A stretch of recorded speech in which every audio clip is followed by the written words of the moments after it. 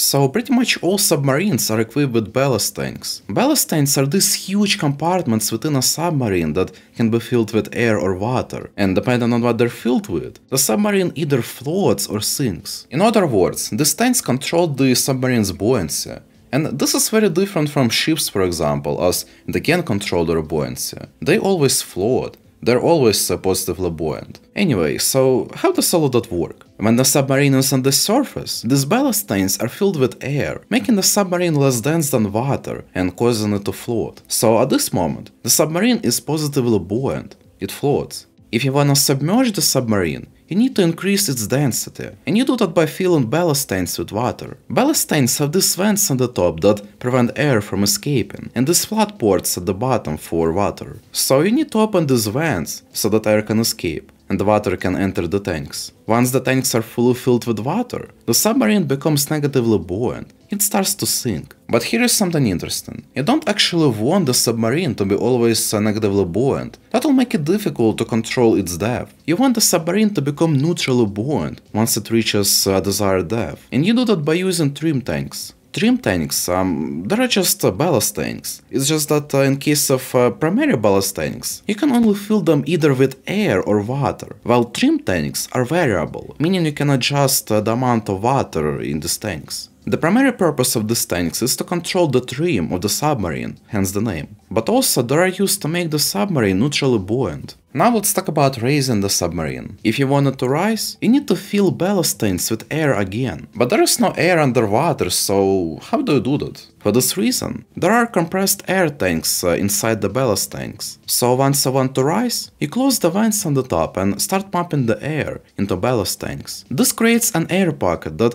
pushes the water out and eventually the tank is completely filled with air, which makes the submarine positively buoyant again, causing it to float. Virtually all submarines work this way, regardless of uh, which country built them. It's just that the ballast tanks may differ in size and the trim tanks may be located in uh, slightly different places, but in general, yes, they all work uh, the same way.